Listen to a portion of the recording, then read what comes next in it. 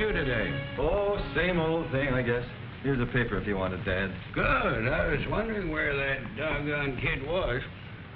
Where's Mom, Jeannie? Starting supper. I'm going to help her as soon as I finish this algebra problem.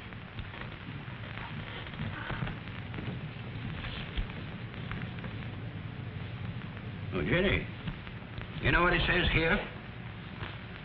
They're going to take out all our phones and put in them kind with dials on them. Oh, Gramps, that's yummy. Does it say how soon? A few weeks, I guess. That'd be just super. Oh, pshaw. What'd you say, Gramps? I said, oh, pshaw. As soon as a man gets used to one thing, by golly, somebody wants to take it away from him. But, Gramps, we've had that old phone since, well, I bet since Daddy was a boy. We ought to be glad to have modern telephones. Oh, shucks. You young'uns are never satisfied these days. Folks are getting more worried about being modern than they are over the three square meals. I'm going to call up Ed Hochstetter and find out what he thinks about all this business.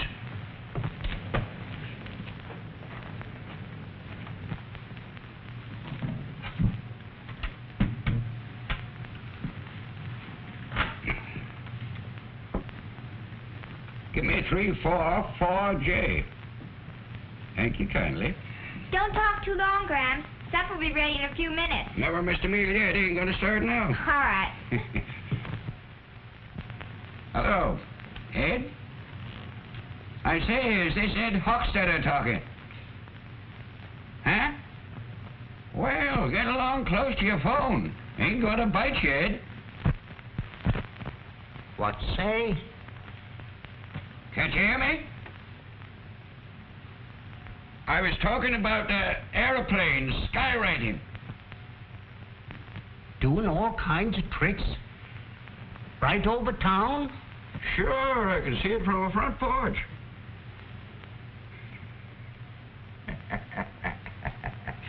By gravy, I knew that'd make all them eavesdroppers hang up and run outside.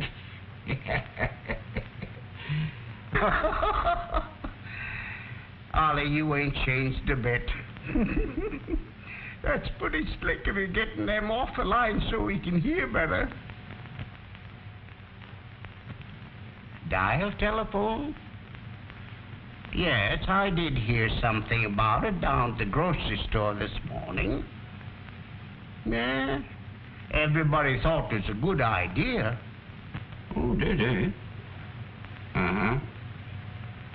Uh-huh. No, I ain't gonna get it in.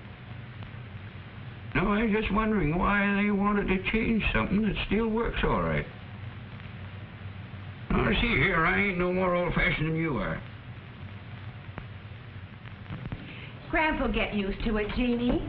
He said the same thing when I got my new washer, remember? yes, and he wouldn't go near it for weeks. He even likes to work it now. Charlie, Jean says we're going to have dial phones put in. Gramp read about it in the paper. Yes, I heard about it today. Ought to be a fine improvement for us here in town. It'll mean pretty fast, up-to-date service. You can pour the water, honey. Okay, Mom. Gramp got all worked up. He's trying to get Hochstetter now. Yes, I heard him hollering out there in the hall. But he'll be all right when he hears there might be some new construction going on. He'll go down there every day if he can and tell them how to do it. From what I hear, they're planning to hold some meetings around town later on. What kind of meetings, Charlie? Oh, to tell folks all about the new system, how it works and everything. John Cook will be the main speaker. John Cook? You know, he's the telephone manager. Oh, yes, sure. The first talk will be at the next parent-teachers meeting. I guess we'll have to figure on going then. Can I go too, Daddy? You won't have to, Jeannie. He's going to talk at a meeting in the school assembly for you kids. You'll hear about it then. Oh. Hey, what's going on here? you can't even talk. Where's that supper I was going to be late for? Oh, you're just in time. We're talking about going to a meeting, Dad. The telephone company wants to tell us all about this new dial service. Meeting tonight? Can't go. I'm going to watch Ed Hochstetter paint his wife's pantry. Well, Dad, you'll be able to go to this meeting, all right. It won't be for some time yet.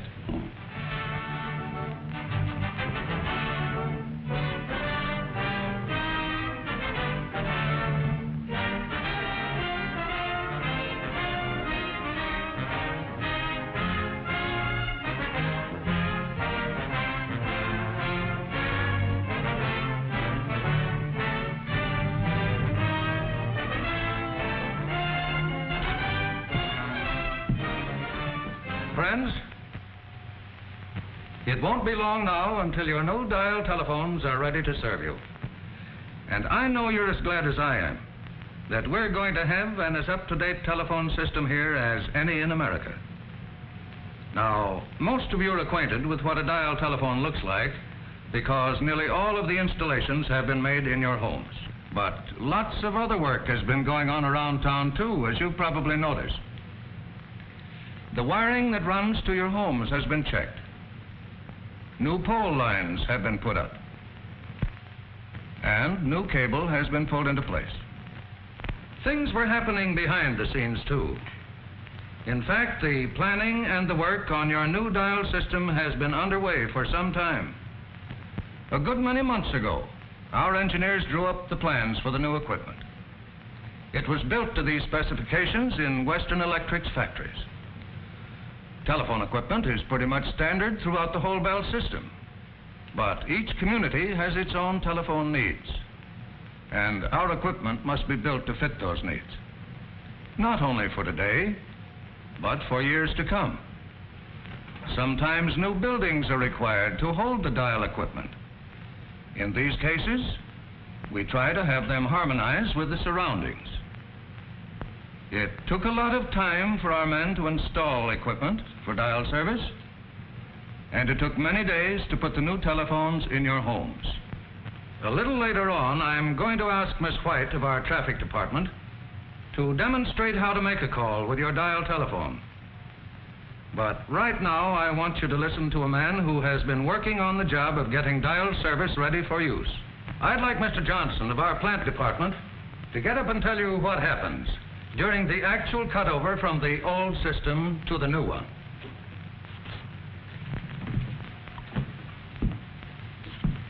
Well, ladies and gentlemen, of course you know from what you've already heard that putting things in good shape for the new system has been quite a job. The main thing now is we're heading toward the time when we make the actual change to the new service, what we call the cutover. So that there'll be no break in the community service, this must all be done in a few seconds. You can see these are mighty important seconds and mighty exciting seconds. When the signal is given, the little fuses are pulled out of the lines that were part of the switchboard service, and the old service dies. And at almost the same instant, few seconds at most, we close the connections in the dial apparatus, and it is ready to handle your calls. From then on, you will have a dependable electrical operator at your service, ready at an instant's notice. One that will be there 24 hours a day to handle your calls. Instead of hearing the familiar number, please, you will hear the dial tone, which says the same thing electrically. Thank you, Mr. Johnson. And now, Miss White will give you some pointers on using your new dial telephone. Miss White. Uh, Mr. Johnson has just told you that your calls are handled in the dial system by an electrical operator. Of course, you've got to understand that the dial system doesn't do away with the need for human operators. Although more than half the telephones in America are dial, we have more operators than we ever had before. Better service means that people make more calls, and more calls mean more operators. Dial or no dial, you'll still be placing out-of-town calls. You'll still want us to find unlisted numbers for you. Or you may need help in an emergency. So don't worry. You'll find operators just as before when you need them. Now, I'm sure that most of you have used a dial telephone before, but perhaps you'd like to know why it works the way it does.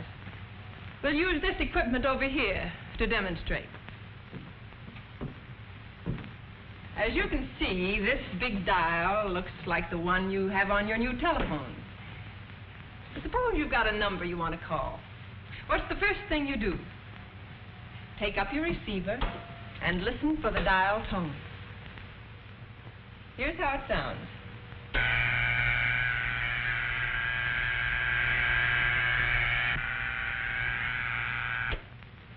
The dial tone is the equipment's way of telling you that it's ready to put through your call. As Mr. Johnson pointed out, it's the same as an operator saying, number please.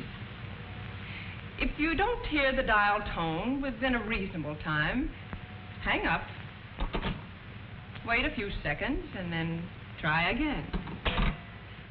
As soon as you hear the dial tone, you're ready to dial the number you want. But before we do that, let's examine the dial itself for a moment. When you operate the dial, bringing it around to the finger stop and then release it, an electrical code message is sent to the automatic equipment in the central office. You'll get some idea of what happens over at the central office if you'll think of these columns of lights as representing the central office dial equipment. For example, if the first number you dial is 5, a 5 signal is received at the central office.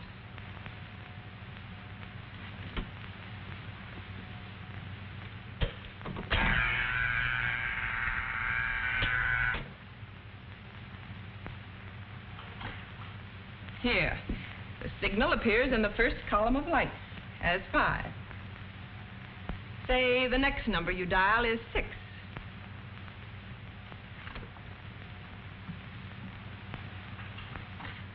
The signal appears in the next column of lights as 6. Suppose we say the third number dialed is also a 6.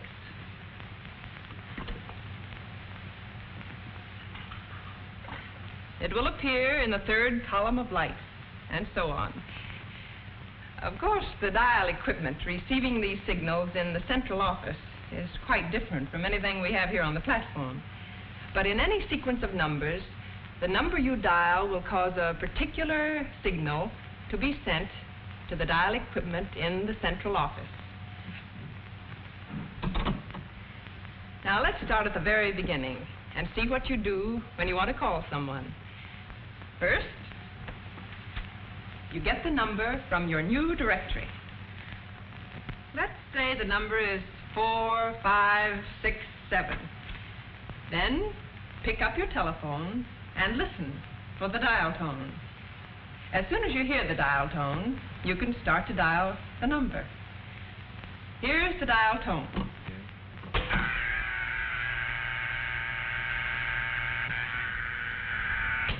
Four. Notice the first column has received the signal four. And so on with five.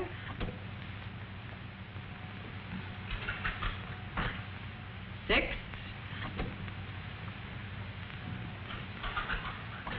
And seven. Always pull the dial all the way around to the finger stop and lift your finger after each number so that the dial swings back of its own accord. This is important because the electrical signals are sent to the dial equipment only as the dial swings back. Any interference with the return of the dial may result in you getting a wrong number. Soon after the last number is dialed, you will usually hear this tone.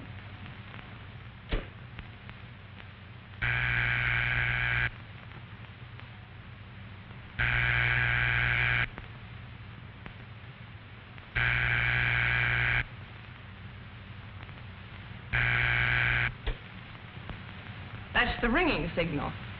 It tells you that the telephone at the number you called is ringing. The party at this number will hear a clear, evenly spaced ring that sounds like this.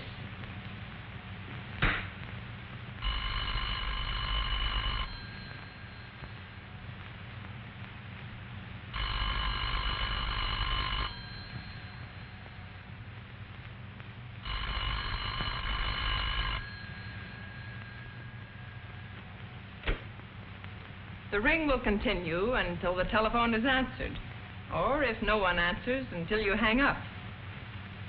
When you've dialed a number and that line is busy, you'll hear a signal like this.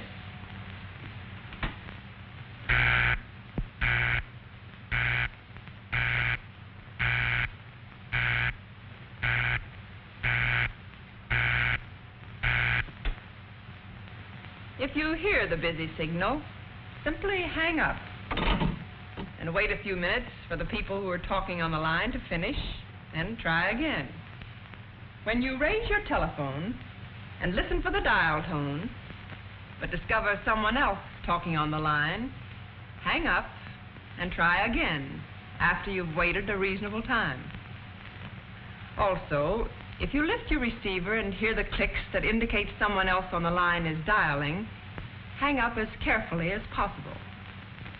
But no matter how often or when you call, always be sure to listen for the dial tone before you start to dial.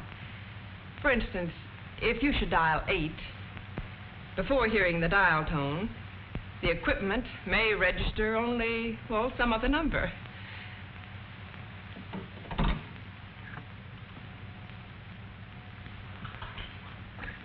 Five. The reason is really very simple. You started to dial before the equipment was ready, and so it didn't receive all the electrical signals you tried to send it.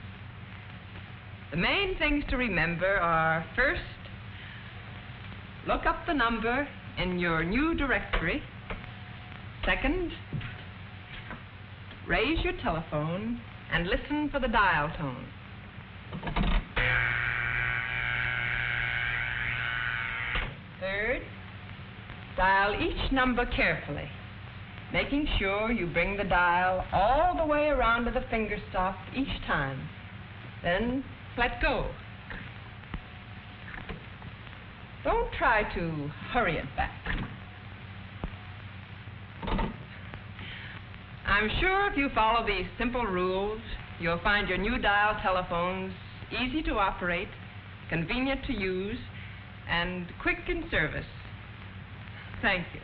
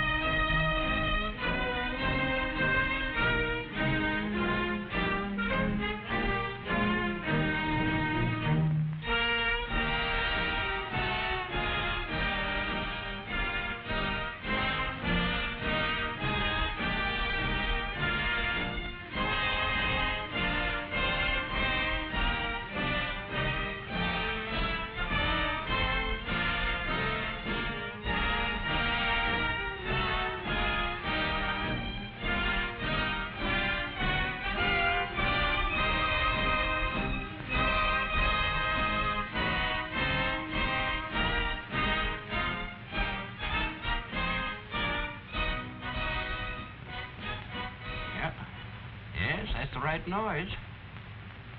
Now, let me see. Four, one, nine, two.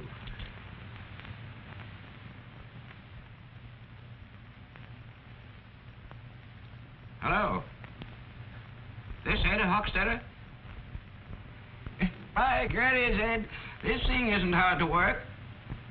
No, sir. Got my call through first time I tried. Real nice and clear, too, isn't it? God blame me if I don't think this darn thing is going to work out pretty good at that. yeah.